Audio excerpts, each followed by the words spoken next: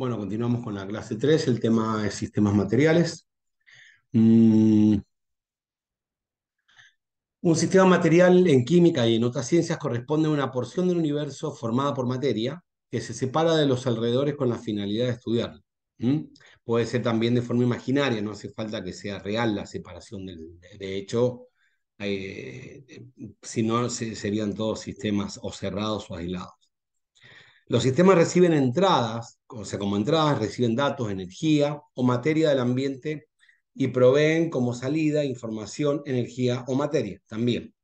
Los sistemas pueden ser, en una primera clasificación, abiertos, cerrados o aislados. Un sistema abierto es un sistema que intercambia materia y energía con su entorno, con su ambiente. El ejemplo puede ser un vaso abierto o puede ser eh, una olla que esté calentando su, su comida. Un sistema cerrado solamente intercambia energía con el entorno, pero no materia. Por ejemplo, cuando uno pone a hervir algo, pero lo tapa y no permite que el vapor salga. Mm, un autoclave, que también funciona con evaporación, em, no deja que el vapor salga. Eso sería un sistema cerrado. Solamente hay intercambio de energía. Y el sistema aislado directamente no existe intercambio. O sea, el ejemplo que podríamos poner más cercano es un termo o una hielera, donde no hay salida ni entrada de materia, pero tampoco se supone que hay intercambio energético, aunque sí sabemos que lo hay y, digamos, en, algunos casos bastante, bastante grande, pero en otros, en unos muy buenos termos, bueno, existe un intercambio de energía bastante moderado que se puede asemejar a un sistema aislado. ¿Bien? En la actividad 18 tendríamos que clasificar los siguientes ejemplos de sistemas y fundamentar la respuesta. Una taza de cerámica que contiene chocolate a 10 grados Celsius, ¿qué, qué tipo de sistema es? Eh, una botella que contiene bebida de lima limón a temperatura ambiente y se encuentra tapada con un corcho y así, los otros dos que quedan. Elementos compuestos y símbolos. Esta parte es importante que sepan diferenciar entre un elemento, un compuesto y los símbolos de los elementos. El elemento se refiere a la sustancia simple, al constituyente común a una sustancia simple y a sus variedades alotrópicas. Ahí vamos a ver qué es variedad alotrópica. Pero tenemos, por ejemplo, el carbono, el oxígeno y la molécula que, ustedes ven al lado, otra es, ozono. Están constituidas por átomos de oxígeno, pero básicamente el elemento es el oxígeno, el constituyente. ¿Bien? Que es el, el ozono es una variedad alotrópica del oxígeno. Eso, a eso se refiere que son moléculas muy distintas, con propiedades muy distintas, pero que tienen las mismas, eh, el mismo constituyente, el mismo elemento constituyente. En este caso es el oxígeno. Los elementos se combinan químicamente para dar compuestos. Fíjense que compuesto ya habla de, justamente, la palabra lo define, está compuesto por elementos, ¿sí? Y la unidad constituyente de estos últimos, o sea, de los compuestos, es la molécula, esa es la unidad mínima que es la combinación invariable de los átomos de los elementos involucrados. ¿A qué nos referimos con invariable? Que no se va a modificar el número. Por ejemplo, si ustedes piensan en la molécula de agua, se les viene inmediatamente a la cabeza los números, o sea, las letras y los números H2O. Nunca se les viene H4O, ni HO3, ni ningún otro número que sea, o combinación que sea H2O. ¿Por qué? Porque la molécula de agua siempre tiene dos átomos de hidrógeno y un átomo de oxígeno. A eso se refiere con eh, combinación invariable de los átomos de los elementos involucrados. ¿Bien? Por ejemplo, acá tenemos en, como elementos el hidrógeno, el cloro, el wolframio, la plata, el oro, el sodio. Y todos los elementos de la tabla periódica, básicamente, que ustedes pueden encontrar en la tabla periódica, los 118. Un compuesto o una sustancia compuesta, ¿qué sería? Cuando la sustancia está formada por átomos de dos o más elementos diferentes unidos químicamente en una proporción constante, como vimos recién. Ahí se denominan sustancias compuestas o simplemente compuestos. Bien, estas sustancias solo pueden descomponerse por métodos químicos. O sea, yo no puedo hacerlo pasar por un tamiz y descomponer el agua, separar el hidrógeno y el oxígeno. Solamente puedo por electrólisis, que sería un método que tiene que romper los enlaces entre el oxígeno y el hidrógeno. Bien, en otras sustancias más simples. Y lo hacen siempre en la misma relación de masa. Por ejemplo, el agua, el amoníaco, el ácido sulfúrico y el cloruro de potasio. Son unos ejemplos nada más. Hay miles y millones de moléculas de compuestos. Pero ustedes verán que siempre la molécula del amoníaco es NH3, siempre. La molécula de agua siempre es H2O, o sea, la proporción de dos moléculas, dos átomos de hidrógeno y uno de oxígeno se mantiene siempre. Los sistemas materiales, ahí volvemos a la definición, son aquellos cuerpos, partes de cuerpos o conjuntos de cuerpos que se aíslan del entorno para su posterior análisis. Eso lo habíamos visto vagamente al principio. Podemos clasificar en sistemas materiales homogéneos o sistemas heterogéneos en, en una primera clasificación, ¿no? Teniendo en cuenta si varían o no varían sus propiedades. ¿Cuáles propiedades? Las propiedades intensivas, las que no dependían de la cantidad de materia. Vamos a tener, por ejemplo, acá tenemos eh, un ejemplito que vamos a tener arriba aceite, en el medio agua y abajo arena. En este sistema lo que podemos ver es que las propiedades de la arena son muy distintas a las propiedades del agua y las propiedades del agua son distintas a las propiedades del aceite. Entonces, podemos determinar ya con esa simple observación que este sistema es un sistema material, primero que es abierto, porque está abierto al entorno, no tiene, no tapado, y que es un sistema heterogéneo, está formado por más de, de una fase. Bien, cada una de esas fases que ustedes ven ahí, por ejemplo, el aceite, el agua o la arena, constituye en sí mismo un sistema material homogéneo. Entonces, el sistema material heterogéneo está constituido también por porciones del sistema homogéneo. Fase. Se denomina fase a cada una de las zonas macroscópicas del espacio de una composición química y sus propiedades físicas homogéneas que forman un sistema. Por ejemplo, el aceite. Ahí vemos, ¿ves? El próximo sistema material, eh, la próxima fase podría ser este, el agua. ¿Mm?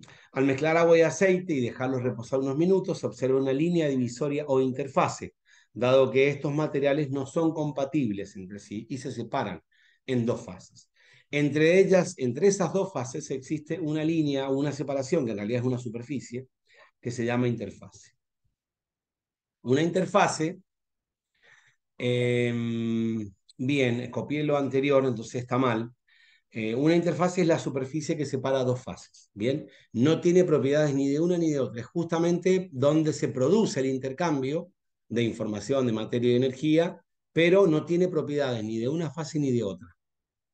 Acá, por ejemplo, eh, abajo podemos ver el agua y el aceite, la interfase sería esta que vemos acá, que en un principio es muy difusa, está mezclada, pero si lo dejamos un tiempo largo, esto se queda bien, bien, bien marcadito. Acá, por ejemplo, tenemos una fase que podríamos denominar el corcho, otra fase que podríamos denominar agua y otra fase que sería este metal, este acero. Y la interfaz sería la superficie de contacto entre las tres fases. La superficie de contacto entre el agua y el corcho es una interfaz y la superficie de contacto entre el metal y el agua sería otra interfaz. Esto sin contar el recipiente. Es importante aclarar eso. Acá también ustedes vayan viendo las interfaces que hay y acá, bueno, las distintas fases con sus interfaces. Cada una de estas fases constituye un sistema homogéneo, aunque todo el, el conjunto constituya un sistema heterogéneo. Bien, bueno, ahora vamos a ver la diferencia entre sustancias puras y mezclas. Una sustancia pura es un sistema homogéneo de un solo componente. Una mezcla puede ser homogénea o heterogénea. ¿Cómo puede ser esto? Me dirán ustedes. ¿Cómo puede ser una mezcla y si es homogénea? Bueno, el agua con sal. El agua con sal, si yo echo muy poquita sal en el agua, se disuelve y es un sistema homogéneo, pero no deja de ser una mezcla. Está formada por más de un componente. Y pues entonces las mezclas pueden ser homogéneas o heterogéneas, formado por dos o más componentes siempre. Las sustancias puras tienen composición fija, el agua, acuérdense, H2O, no se modifica la composición, siempre dos átomos de oxígeno, uno de hidrógeno, uno de oxígeno. Las mezclas generalmente, va, siempre tienen composición variable. Por más que yo tenga dos o tres soluciones salinas, yo puedo tener variabilidad en la cantidad de sal y agua que tenga, pero no van a dejar de ser soluciones salinas e incluso pueden ser todas homogéneas. ¿Bien? Pero yo puedo echar un poquito más de sal, puedo sacar sal y no va a dejar de, ser homogéneo o una mezcla. Las sustancias puras no pueden separarse por medios físicos. ¿Qué sería un medio físico? Bueno, la tamización, eh, la, ebullición, alguna de estas ya la vamos a ver los métodos de separación, serían físicos, no se pueden separar por métodos físicos, sí se eh, pueden separar solo por métodos químicos. Y en cambio las mezclas sí se pueden separar por métodos físicos, también lo vamos a ver. Las sustancias puras tienen temperatura constante durante el cambio de estado, cuando cambian de sólido a líquido o de líquido a, vapor o a la inversa, eh, la temperatura se mantiene constante. En cambio, en las mezclas la temperatura va variando porque la composición va variando de cada una. Si yo lo que hago es evaporar una solución salina, lo que se evapora en realidad es el agua. La sal me queda. Entonces, al quedarme la misma masa de sal y quedar cada vez menos masa de agua, o menos volumen de agua, sería convertible, este, yo lo que estoy haciendo es concentrando la sal. Entonces, es como si cada vez tuviese más sal o más proporción de sal respecto a la proporción de agua, de la cantidad de agua. Entonces, el punto de ebullición sí va cambiando. ¿Bien? Los ejemplos de una sustancia pura, agua, hierro, dióxido de carbono, y los, eh, ven que puede ser acá un compuesto o puede ser un elemento, hierro o agua, pero no deja de ser sustancia pura. Y una mezcla, agua y arena, o el aire mismo, que es una mezcla de gases. El, aire en realidad es una mezcla inhomogénea porque va cambiando su composición de acuerdo a la altura, pero si tomamos un sistema material lo suficientemente pequeño para estudio, el aire no cambia su composición. Se llama inhomogéneo, como el mar también. Bueno, las mezclas son aquella parte de la materia que está formada por varios componentes que no pierden sus propiedades y características por el hecho de mezclarse. Una mezcla tiene, acuérdense que está formada por mm, dos o más componentes, ¿sí? Por ejemplo, el agua con sal, como hemos dicho.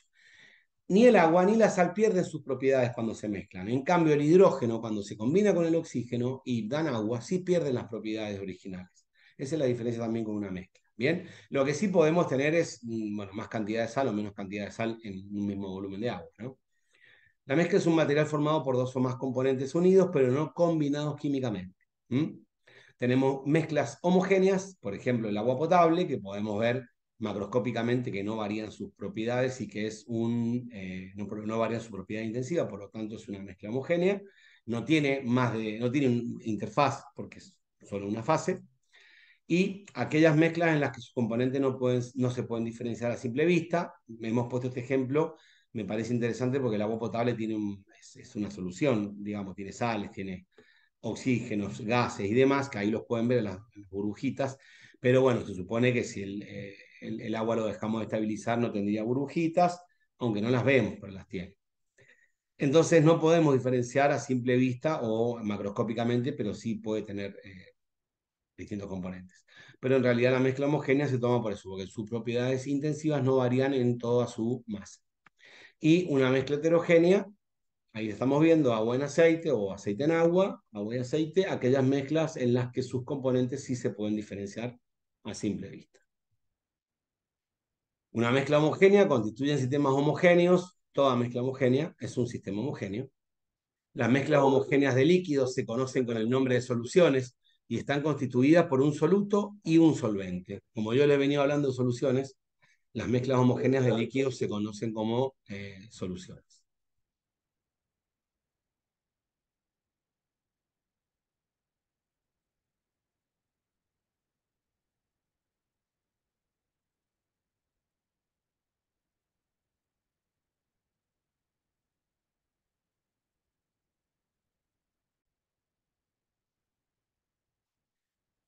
Entonces, quedamos en que las mezclas homogéneas de líquidos se conocen con el nombre de soluciones y están constituidas por un soluto y un solvente. Por ejemplo, el agua con la, sal que habíamos hablado, el agua con azúcar, son las más sencillas de entender, porque el agua con arena, el arena no se disuelve en el agua. Entonces necesitamos que el material se disuelva en el agua. En general se le llama eh, soluto a el componente que está en menor proporción y solvente al que está en mayor proporción. Uno tiene, tiende siempre a pensar que el agua es el solvente siempre, pero bueno, en, fisicoquímica o en química se le llama soluto al que está en menor proporción y solvente al que está en mayor proporción porque no siempre hay agua.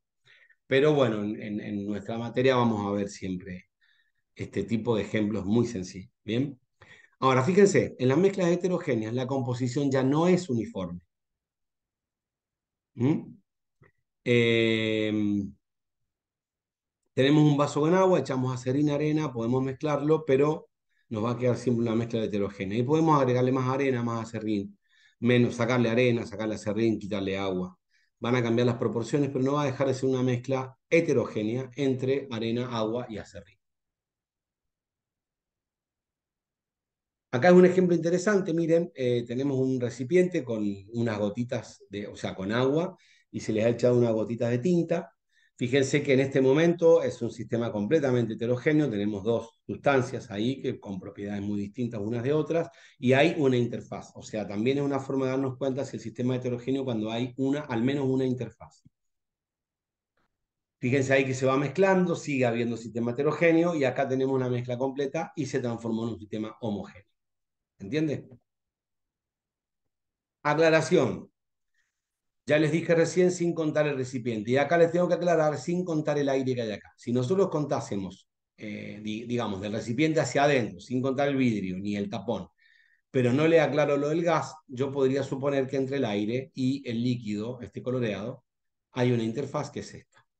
Generalmente nos centramos en los líquidos, pero es, es válida si ustedes me preguntan qué pasa con el gas que está acá. Sí, si consideramos el gas en un sistema heterogéneo y si consideramos el y el tapón, el gas y el líquido, naturalmente el sistema es súper heterogéneo. ¿Bien?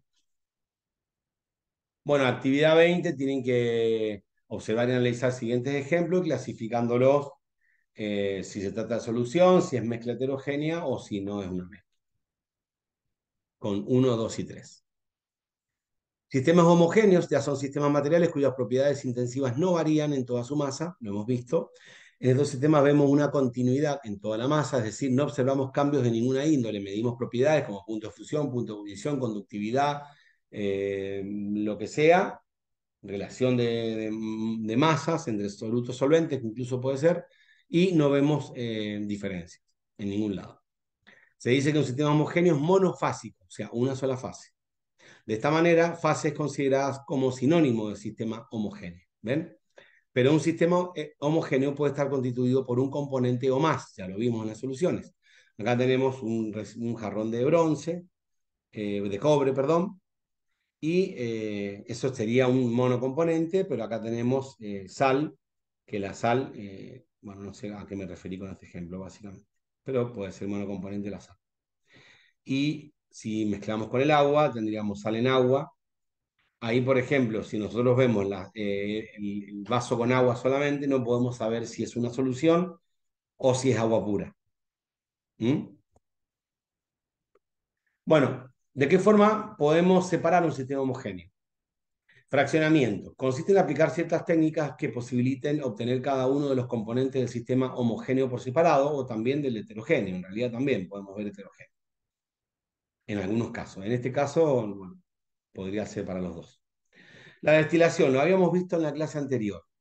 La destilación consta del de, eh, cambio de estado de un líquido a fase vapor y después de una condensación de ese líquido para recogerlo en otro lugar.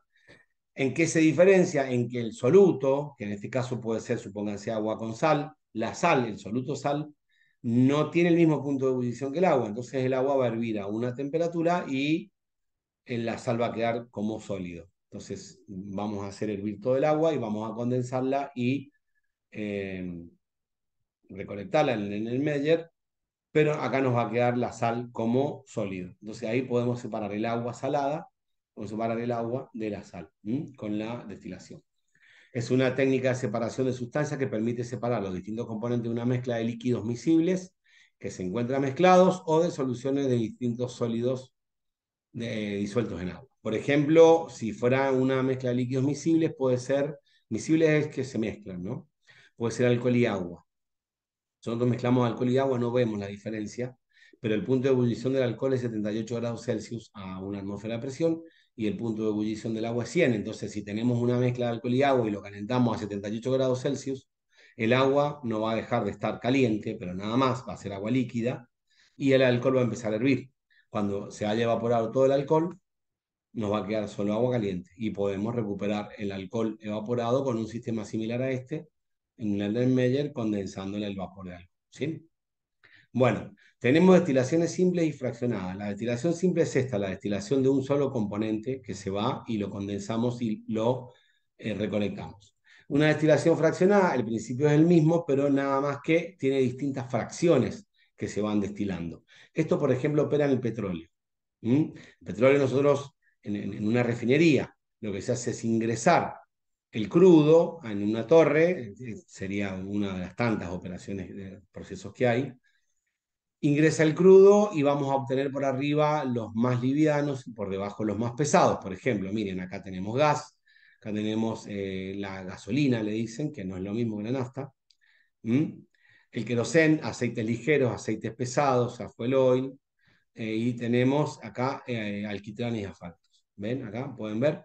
Entonces, lo que antes venía todo junto en el petróleo, el alquitrán y el gas, y la nafta y la, el gasoil, el querosén, Bien, lo que venía todo, todo junto, ahí lo hemos separado aplicando este principio del punto de ebullición, de la diferencia de punto de ebullición. Esa sería la destilación fraccionada. Así podemos separar líquidos miscibles. ¿Qué sería la cristalización?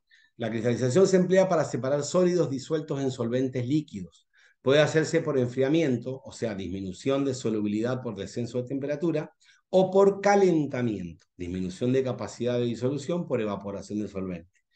En el caso que hablábamos del agua con sal, se puede hacer por cristalización, o sulfato de cobre disuelto en agua. Toda sustancia que esté disuelta en un, solvente líquido se puede hacer de esta forma, o calentarlo o enfriarlo. Si uno lo enfría, lo que hace es generar cristales, y si uno lo que hace es calentar, lo que hace es evaporar. Prácticamente sería como la destilación que vimos recién. ¿Bien? Pero recuerden para qué sirve la cristalización, para separar sólidos disueltos en solventes líquidos. ¿Por qué vamos a usar la cristalización y no la, mm, ebullición o al revés? Y bueno, depende del material que se encuentre, con el que nos encontremos y depende de qué es más barato o qué es más caro. ¿Sí? De, eso siempre depende los, métodos que vamos a usar para separar uno de otro. Bueno, para los sistemas heterogéneos, eh, ya lo vimos, están constituidos por dos más fases, se lo domina polifásico, eh, las propiedades varían, eh, la propiedad intensiva varían a lo largo de su masa, y la superficie de contacto entre dos fases tiene, se llama interfase, y al menos tiene que tener una interfase. Agua, aceite y alcohol, agua y hielo, dice, ahí tenemos dos fases. ¿Qué pasa? El constituyente del agua y el hielo es el mismo, es agua. O sea que cuando yo le pregunte componentes, si tenemos un sistema material formado por agua y hielo, componentes hay uno solo, que es el agua. Ahora, ¿cuántas fases tenemos? Dos. ¿Por qué? Porque el hielo ya tiene propiedades distintas al agua líquida. ¿Se entiende? Entonces ahí tenemos dos fases. Hay una interfase entre el hielo y el agua líquida. Una bebida gaseosa, la bebida gaseosa que tiene dióxido de carbono en burbujitas y el solvente. ¿Cómo se fraccionan? ¿Cómo se separan de fases? Decantación. Fíjenselo eh, cómo sería la decantación. Tenemos una ampolla de decantación y tenemos dos líquidos que tienen distintas densidades, por ejemplo, el, aceite y el agua. El agua es más densa que el aceite, si los mezclamos, el agua va para abajo, el aceite hacia arriba. ¿Cómo funciona esto? Abrimos, acá hay una llavecita, abrimos el robinete, primero dejamos descansar suficiente para que esta superficie se haga bien nítida, abrimos esta llave y empieza a caer que lo que está abajo, que es el agua. Cuando llega a caer todo el agua y nos queda solo aceite, cerramos la llave y vamos a tener agua por debajo recolectada y aceite arriba. Este método no es, eh, no es 100% efectivo, siempre se mezcla agua y aceite, queda un poquito de aceite en agua y queda mucho de agua en aceite, pero bueno, es una forma importante de separar el, dos líquidos inmisibles porque tienen distinta densidad. Acá se los explico básicamente en una ampolla de decantación. Después pueden leerlo por ahí. ¿Qué sería la disolución? ¿Cómo podríamos separar? Se aplica cuando una de las fases es soluble en un determinado solvente mientras que la otra no lo es. Por ejemplo, entendámoslo así. Si tenemos arena y sal en un vaso, ¿qué vamos a hacer? Vamos a sacar cada uno de los granitos de sal para un lado y los de arena para el otro. Nos volvemos, la verdad que, marciano. Entonces, ¿qué hacemos? Sabemos que el agua disuelve la sal y la arena no la disuelve. Entonces, ¿qué hacemos? Echamos agua, revolvemos bien, el agua la sal se disuelve en el agua y después separamos el agua de la arena. ¿Se entiende? Entonces, la disolución, esa propiedad de que uno de los solutos es soluble en un solvente y el otro no, se le llama disolución. Es la separación por la propiedad de solubilidad. ¿Bien? Filtración y evaporación consiste en filtrar el componente disuelto en el punto anterior, por ejemplo, la, arena de la solución o la arena de agua, eh, y recuperarlo. Pasamos a través eh, el agua con arena, por ejemplo, por un filtro, este es un filtro de papel, que se, ahí tienen los dobleces cómo se hace, se hace un conito, se pone acá, se pasa el agua con arena, y que nos queda acá en el filtro la arena y pasa el agua supuestamente limpia. Siempre van a haber imperfecciones, pero ustedes entiendan que es a grosso modo la forma de entender lo que es la filtración. ¿Mm? Flotación. Acá la flotación sirve para separar sistemas heterogéneos en reposo formados por sólidos de distinta densidad, pero por sólidos de distinta densidad, tales como arena y partículas de corcho. Por ejemplo, si yo tengo arena y corcho, ¿qué hago? Le agregamos agua, el corcho flota, una de, de las partes flota y la otra no flota. Entonces podemos separar fácilmente el corcho de la arena. La flotación o flotabilidad, la flotabilidad es la propiedad, flotación es el método. Eh, también se ve en la industria minera, por ejemplo, pero ahí se aprovecha el grado de afinidad que tiene ciertos metales con eh, las burbujas de aire que van a formar la espuma. ¿Está bien? Bueno, es un principio, no es igual que este, pero es similar. Imantación. ¿Qué pasa si tenemos sólidos mezclados y hay uno que es magnético? Bueno, le pasamos un imán y podemos separarlo. ¿Bien? Entonces se eh, emplean las propiedades magnéticas de uno de los sólidos. Tamización, bueno, lo habrán hecho mil veces en su casa. Se emplea para separar que sólidos de distinto tamaño. Saranda también puede ser eh, en, mayor, en mayor escala, se llama saranda. Ahí ustedes pueden ver cómo tamizamos arriba una harina, si quieren, y abajo eh, cómo separamos una tierra con una grava con de la arena. Y abajo tienen, hay una serie de tamices que cada, mientras más abajo van esas ollitas que tienen una malla en el medio, son tamices industriales o por lo menos de laboratorio, la malla de arriba es, tiene una trama bastante abierta y se van achicando las tramas hasta el final, hasta este penúltimo, y el último directamente ciego, es un recipiente donde se recibe lo más fino de todo. Entonces van quedando distintas porciones acá de lo que se ha ido tamizando de distintos tamaños y se puede hacer una curva de tamaños. Bueno, tría se le llaman las pinzas, básicamente. Cuando tenemos que separar algo de gran tamaño, podemos usar una pinza que le decimos tría en el laboratorio. ¿Qué podríamos separar? Y bueno, por ejemplo, un metal en el agua, un papel, un corcho, un hielo, podemos separar con tría, de siempre de agua. Ahí está el corchito. Bueno, y el hielito. Bien. Eh, acá en la actividad 21 es interesante porque le damos varios ejemplos y les pedimos que analicemos estos ejemplos y que indiquen si se trata de un sistema homogéneo especificar si es el caso de una solución o si es, monocomponente, o si es heterogéneo. Bien, y si es heterogéneo, las fases y los componentes que lo constituyen, y si es homogéneo también, fases y componentes que constituyen. Lo que pasa es que si es homogéneo es muy sencillo. Eh, ¿Qué fase lo, lo, constituyen? Una sola. Pero, por ejemplo, puede ser agua con sal, entonces le decimos, es una fase y ¿cuántos componentes hay? Dos, porque hay sal y agua. ¿Se entiende?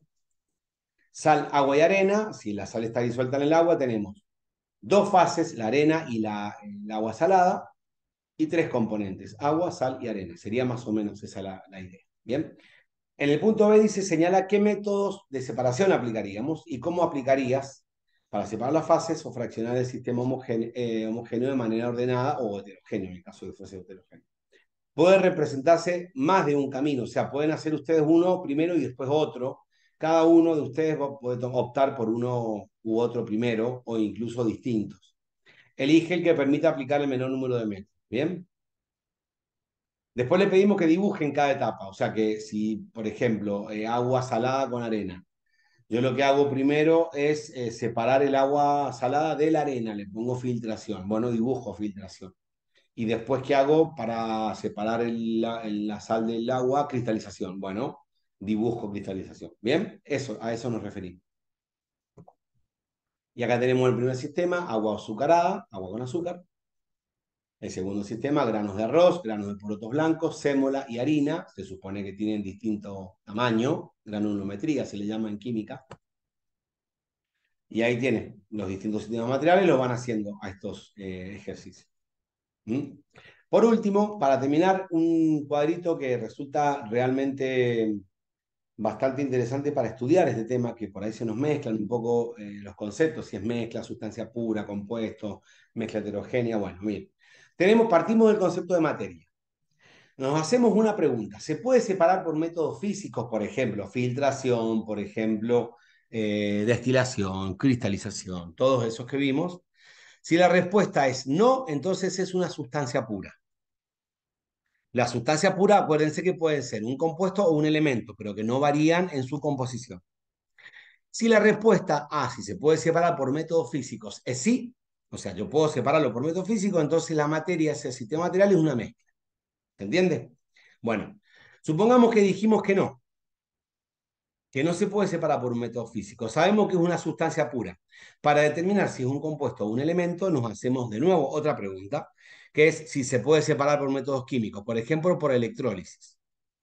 Si yo aplico electricidad al agua, yo separo en componentes oxígeno y en componentes hidrógeno, por otro lado, se separan.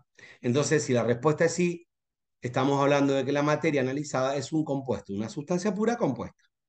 Pero si yo digo no, si la respuesta es no, por ejemplo, tengo hidrógeno aplico electricidad, eh, bueno, probablemente eh, pueda hasta generar un, un arco, pero no voy a separar en hidrógenos, eh, digamos, grosso modo, ¿no? Para que se entienda.